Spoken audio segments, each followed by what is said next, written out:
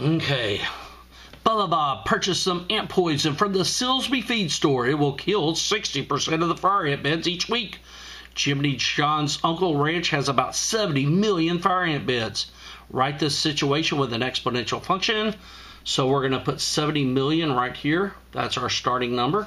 Let me do it down here so we can see it better. f of x equals 70 million parentheses. Now then, he kills 60%, so we do 100 minus 60 is 40. 40% is left, so the common product will be 0.4. And then to the x. So this right here would be our function. So it's going to start at 70 million. So 0 comma 70 million. And this graph would just barrel down like this, right? And eventually get go to the x-axis. Okay, how many will be at the end of one year, which is 52 weeks, right? So this is going to be 70,000 or 70 million parentheses 0.4 to the 52nd, right? Okay, so let's graph this. So I'm going to hit Control T to, to get rid of the graph. Control T. My graph, my table's gone. Now then, think of something bad. Delete, delete, delete. Boom, that bad thought's gone. Hit tab, and then 70 million. 70, 1, 2, 3, 4, 5, 6, parentheses, 0.4, caret x. Hit enter, and I'm not going to see any of the graph, or the y-intercept's at 70 million, right? Okay, now then I want 52 weeks, so I'm going to hit uh, Control T, and then I got to go down to 52, right? Who could get there first? Go all the way to 52. Notice the number's getting smaller. There's 52 right there. 52 is 1, 4, 5, 6, and then 1, 2, 3, 4.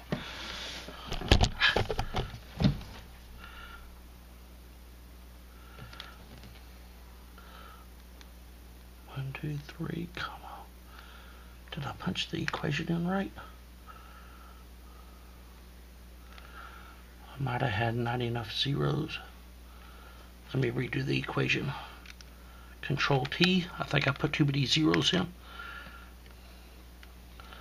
One, two, three, four, five, six, seven. Oh, I got it right. Oh, I did. I didn't do the exponent x. So I need delete, delete, delete. That's why. So I'm going to punch in uh, tab, then 70, 1, 2, 3, 4, 5, 6, parentheses, 0.4, and then I have to punch caret x. Ah, not caret, caret x. Then hit enter, and now it's going to work. Now I got my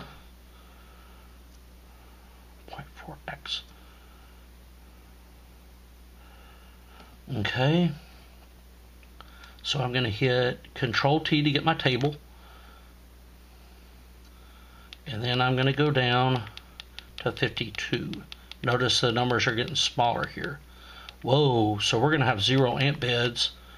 Zero ant beds happens actually at 20 weeks.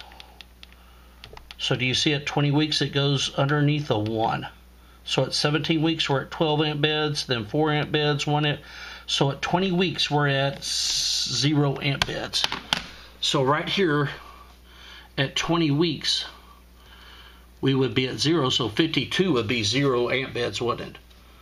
So 0 amp beds at 52 weeks. Okay, so the y-intercept, 70 million, is the starting number of beds of ant beds, that is. The common product is 0.4, and that's going to make the number of beds go down. The asymptote is still the x-axis. The domain is going to go from 0 to 52,